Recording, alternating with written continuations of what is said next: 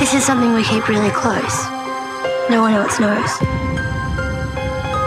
We're all in this together, yeah?